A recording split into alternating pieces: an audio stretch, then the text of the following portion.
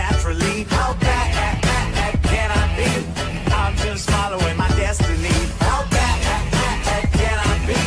I'm just doing what comes naturally. How bad can I be? How bad can I possibly be?